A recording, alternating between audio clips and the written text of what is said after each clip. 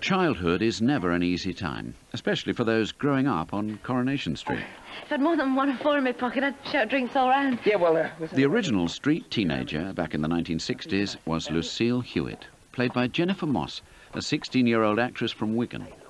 Jennifer first appeared in episode 3 and continued to play the angst-ridden Lucille for 14 years. I had a slightly different background from Lucille, and what I did was um, try to put myself into, you know, that background, and obviously there must have been some of me in her. I was very careful that not much money should be spent on her clothes, things like that. Whilst she was enjoying her life in the street, Jennifer met and married her first husband. He was the son of a millionaire, and for a short time they enjoyed a jet-set existence together. They had a daughter, Naomi, but the couple separated when financial matters between them deteriorated. I just couldn't afford him. I say, he is not a bad person. It's just, I really couldn't afford him anymore. Um, you know, I think I had the original Toy Boy in 1968. Naomi's arrival was wonderful, and I, I have a very close um, relationship with, with Naomi. We have a sort of similar, very similar sense of humour. She's lovely, and so are her children, of course. Yes, I've got two lovely grandsons. Absolutely wonderful.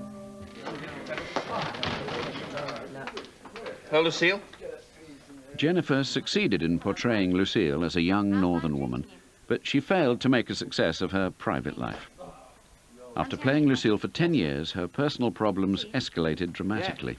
I started drinking heavily, and it got in the way of my work. And of course, uh, nobody said to me, Look here, you know, you're, you're going to end up in a mess. I wish, I wish there had been somebody there. Where do you think you're going? Get off! I you- said, where are you going? Susan,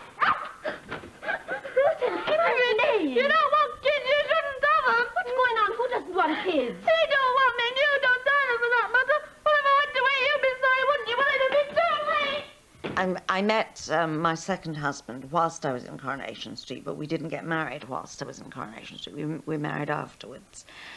And um, that, that wasn't so good.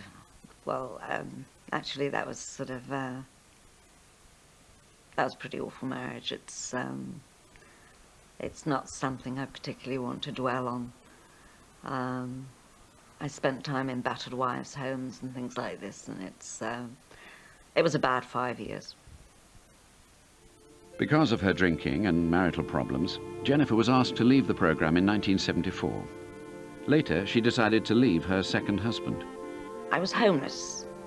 I was living in um, a place where, whereby you had to get up in the morning, pack your belongings, and I didn't even have a suitcase, into carrier bags, and walk the streets of Liverpool. Unfortunately, I had to put Naomi into care because I had to get sober. She wasn't taken from me when I was drinking, but as soon as I admitted what I was, did something about it, got sober, they then pounced. Social services pounced and took it. I mean, it was all back to front. I always remember them dragging her out of court and her screaming, Mummy, don't let them put me into care. Whilst Jennifer was trying to get help to fight her alcoholism, she went through two more short and disastrous marriages. She eventually found the inner strength to control her drinking and returned to small acting jobs in radio and television. She then met her present husband, Stephen, who's 16 years younger than her. Drinks first.